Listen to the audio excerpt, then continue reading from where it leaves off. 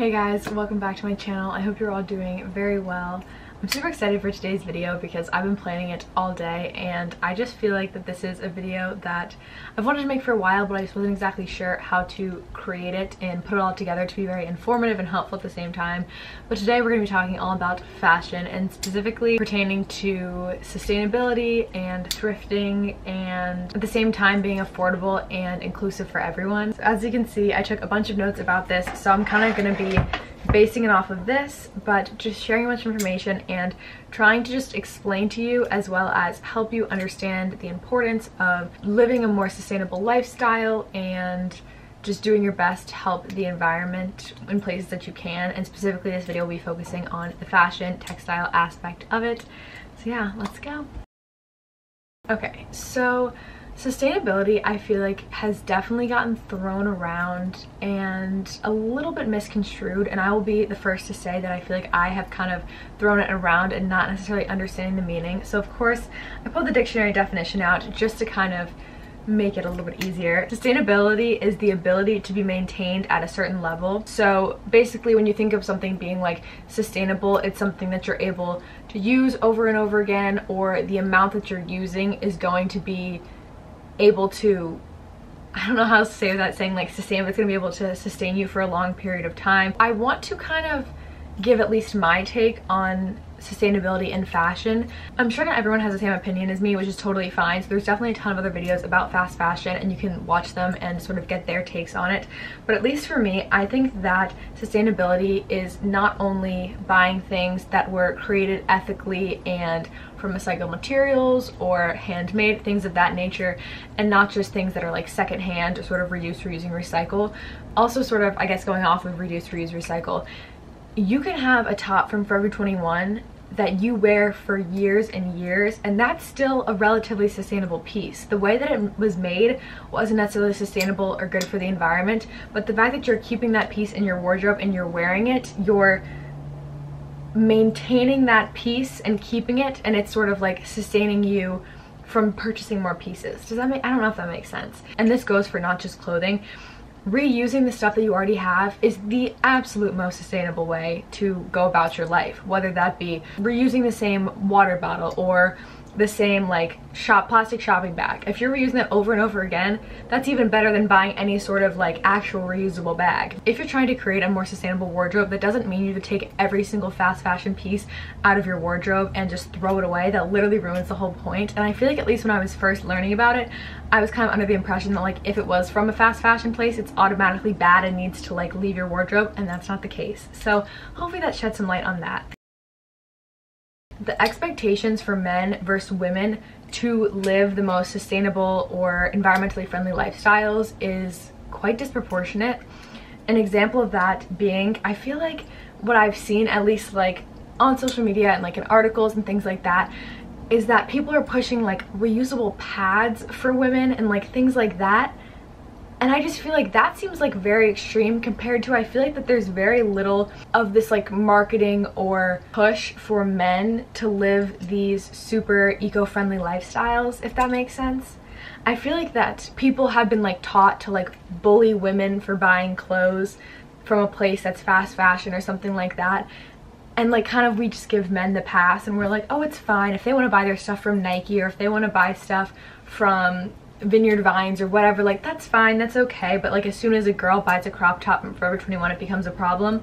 And I'm not saying that this is the case all the time, but I definitely feel like that at least in sort of the community that I'm in on social media through YouTube and I'm not on TikTok anymore but when I was it was like just beating up women for making little mistakes or not having the most like flawlessly eco-friendly lifestyle and then men are going out and they're like going to the gym with their giant water jugs that they're just going to throw away and buy a new one. So now really quickly we're just going to talk about fast fashion, have the actual definition, and then again I'll kind of build off of that. The fast fashion dictionary definition is inexpensive clothing produced rapidly by mass market retailers in response to the latest trends. So this includes all your favorite stores, I feel like. So Zara, Urban Outfitters, Princess Polly, Forever 21, H&M, AliExpress, Shein, Zaful, Pretty Little Thing, Missguided, literally any of those stores. Pretty much any online store that you can think of, online clothing store for the most part, is fast fashion. I watched a documentary on Netflix called The True Cost. I definitely recommend it if you want to hear more information or learn more about the horrible, horrible effects of fast fashion because not only is it awful for the planet, which is kind of what I'm focusing on in this video, but also the workers in the countries where these clothes are being produced are in horrible conditions and there's just so many effects you wouldn't even think about that come from fast fashion and affect these workers that it's it's very eye-opening. So I'd recommend that you watch that. But basically one thing that they focused on was talking about how big companies, stores, corporations, whatever, they have gone from having four seasons of like clothing and sort of like drops of clothing to 52 so that means that every single week new clothes are coming in. And just as quickly as they're coming in they're also being taken out if they're not considered trendy anymore. So obviously it's great when you see all these stores and you're like oh my gosh I just saw Emma Chamberlain wearing a sweater vest. Now every store has one. Just keep in mind that they're having to produce them so incredibly fast and just absolutely blowing through all the clothes and all the stock that they were selling before to make more room for these new trends.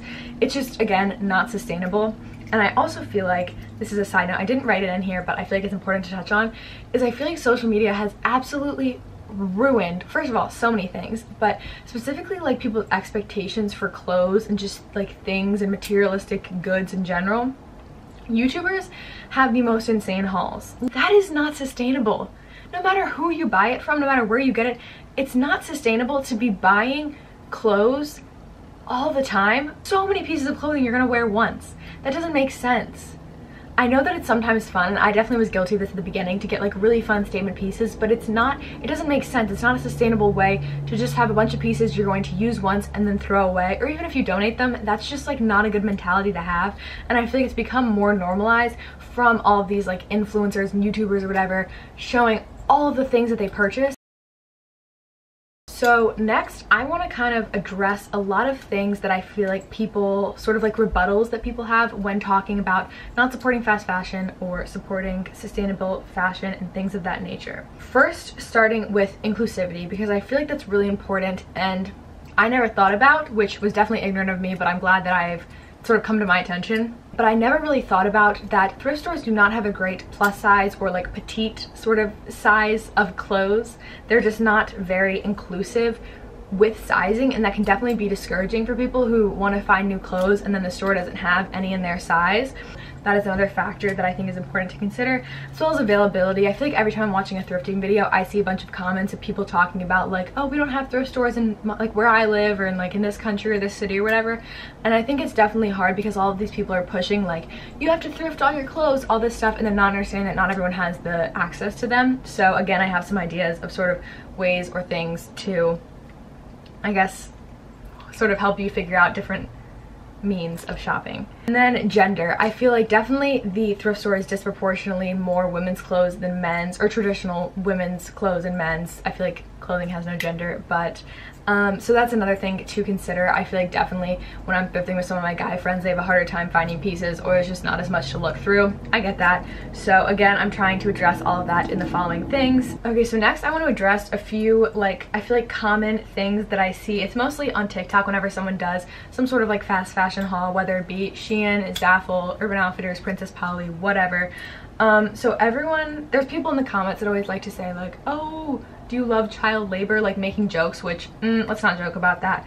But um, then people will respond and they'll say there's no ethical consumption under capitalism. I'm not saying I agree or disagree with that and I get the point that they're trying to make in the sense of like everything's bad and everything has consequences and like whatever all these big corporations are horrible and so you should do what you want and I'm not arguing that. I'm not telling people how to live their lives. At the same time, I feel like that's not really fair. Hey guys, so I was just editing the video and I realized that what I was about to say and like the way I was going to explain it made no sense. So I'm to try again here and see if it's a little bit more helpful.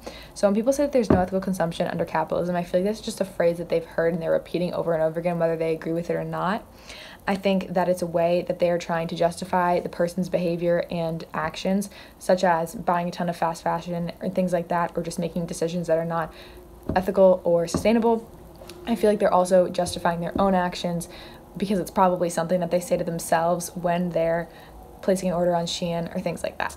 So I feel like that A, that's not really fair to be making that comment just to justify your behavior and also trying to understand they're the same people also that'll say like oh well you're typing on an iphone right oh i'm sure you wear nike like things like that which just it's not again, it's not comparable. To say, okay, you have a phone, that means that it's fine for this girl to buy $700 worth of fast fashion pieces she's literally never going to wear. That's not the same thing. A phone has so many capabilities as well as being a one every five years purchase. I'm pretty sure I've had this phone for four or five years. So, not the same thing. And also, the capabilities compared to the clothes are just not the same. So, I understand what people are trying to say, but also I feel like it goes into the idea of like, if someone's trying to encourage you to recycle and you're like, no, I'm not going to recycle because it's not actually going to make an impact, I'm just one person. If everyone has a mentality, you're not going to get anything done. So obviously, everyone has to understand they're part of a bigger picture and trying to make a difference. So not just ignoring that, that's kind of lame. And I just feel like it's important to make an effort in the right direction. So hopefully that helps explain it better. All right, another thing, people always like to say that thrifting, shopping secondhand is gross or unclean. I'm not necessarily arguing that. I mean, like, keep in mind these are clothes, like, you wash them. My rebuttal would be you eat at a restaurant, you're using the same silverware, using the same plates, the same cups as the people that were eating there before as opposed to wearing it you're just like eating off what they were eating off of but what's what's the common denominator they clean them so i wouldn't worry too much about that i just feel like that's kind of like it seems like more of an excuse. I've worn thrifted clothes my whole life, never had any issue with any sort of cleanliness. I mean, if it has like a bunch of stains on it, maybe don't buy it. I don't know. I just think that that's something like maybe there's bigger things to worry about in life than like, oh, it's gonna be unclean. But that's just one argument to make. If you are feeling incredibly overwhelmed and also just going back and thinking about your closet and the sort of clothes or pieces that you have, I have a really like nice little resource for you. It's called goodonyou.com ECO or ECO. That's like the website. I'll put it right here and I'll link it down below. But it is the coolest website ever. I found it a while ago and then I just came back to it today when I was doing research for this video and basically it has a directory where you can type in any brand or like clothing store and it will give you a rating. There's like five different ratings basically from worst to best for the environment, the people that are like creating the pieces and um, clothes, and then animals in the sense of like using leather or using fur or things of that nature. So it gives a rating for all of those and then it gives a like complete rating I guess like of the brand and how sustainable it is or how good it is for the environment. Let's move on to the most exciting part which is alright so now that I have all this information what are some places and resources for me to shop? So I've sort of split them up into three different categories. So we have the single dollar sign, the double dollar sign, and then the three dollar signs, which obviously is in reference to price. I just felt that depending on whatever your financial situation is, I think it's nice to have options. If you're able to spend a little bit more money on clothes, I think that there are some companies that are really great and great to support and also might last longer just because they're better made pieces. Just in general, if buying clothes isn't necessarily something that you can spend a ton of money on, which I totally understand, I have some great resources for you. So let's start with the single, the single dollar signs, the most affordable things. I have two categories for that. The first one is of course thrift stores. Basically all of my clothes are thrifted at this point. The majority of my shoes are, all of my jackets, all of my accessories and purses and stuff. So I am a big fan of thrifting and I feel like that that is probably the best situation for me to purchase my clothing. Thrift stores, we have of course Goodwill, Salvation Army, Savers, Value Villages, things of that nature.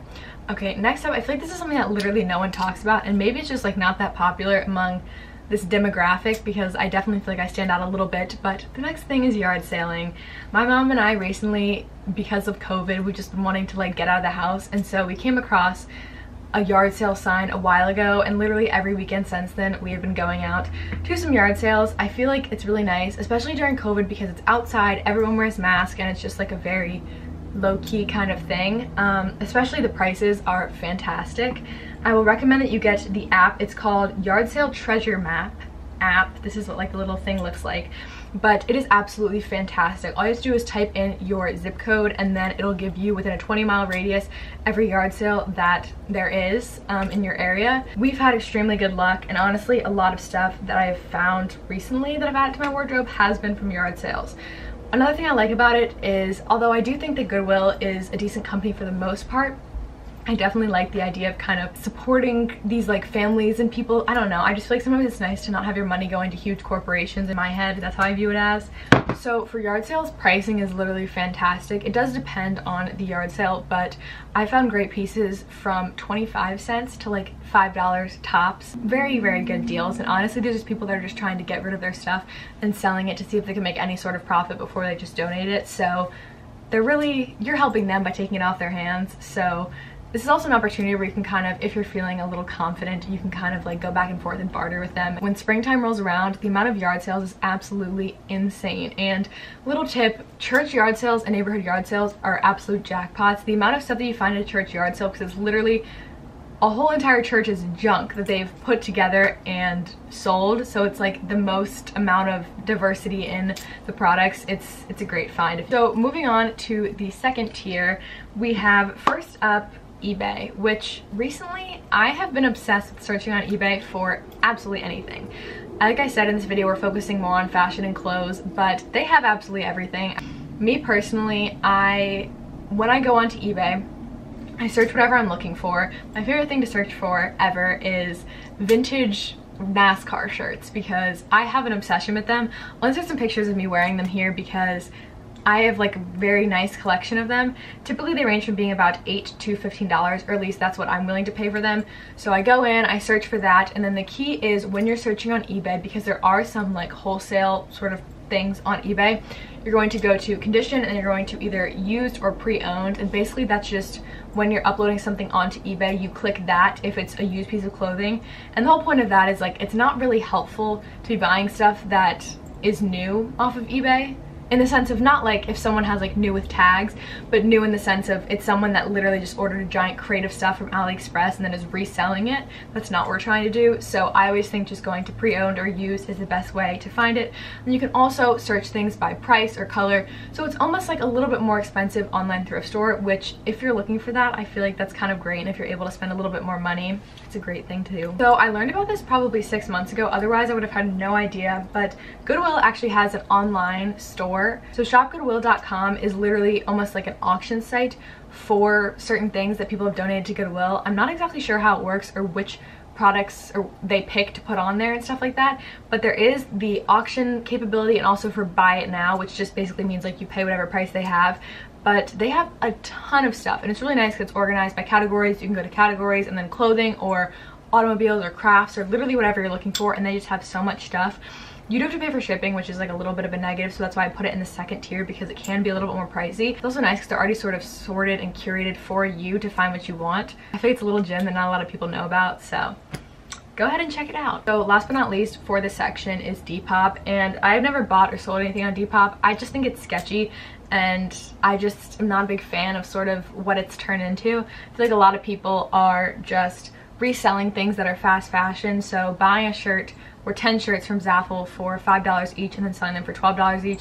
I just think that's lame. I don't really think that's a business. I just feel like that that's kind of a scam in a way and just if you are fine with that that's fine and that's your prerogative but at least for me I don't really feel comfortable with that and so I try to steer away from Depop, I don't know. I also feel like that stuff is just overpriced on there. So for the third tier, honestly, I feel like you might want to do your own research on this because I'm not in a situation at this time where I feel comfortable or have enough money to be spending a ton of money on sustainable clothing.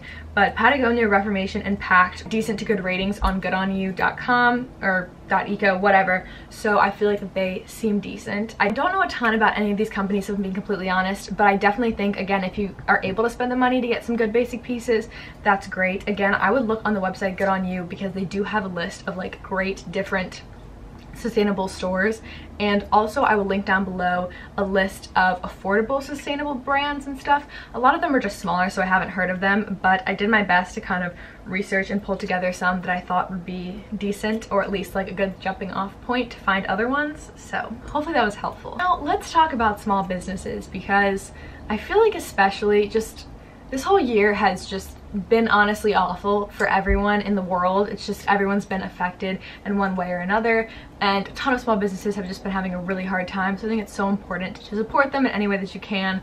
I have pulled together some of my favorite small businesses that I've been following either on TikTok or on Instagram or things like that and I will link their websites down below as well as I'll insert some screenshots. Majority of the time the people that are running these accounts are the people that own the company and so it's like a small little business and they post videos of them making the clothes. I just think it's really cool to sort of see the process and you know that it's made with love and you can obviously ask questions and communicate with them to see like where they get their resources and things of that nature but I just feel like having people like hand sewing your clothes that's just really cool and definitely a more ethical way than supporting like Forever 21 and also you're supporting them.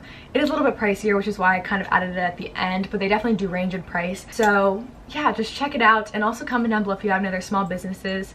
Etsy is another great one. I don't know as much about their whole clothes sort of deal on Etsy, but definitely for Christmas, I bought some very fun gifts from Etsy from little small businesses. This is such an important time to support these people and just not giving your money to big corporations sometimes. That's kind of my thing. All right, thank you guys for watching. I hope you liked this video. I honestly tried to compile a bunch of information together just to make it as informative and helpful as possible hopefully that was accomplished and you learned something or are interested in learning more about something that I talked about. Yeah, I just think that it's not necessarily talked about a ton and when it is, they don't give you the proper resources and things like that. So I did my best to do that. Again, comment down below if you have any small businesses, especially clothing small businesses that you think are cool and that I would like because I would love to support them.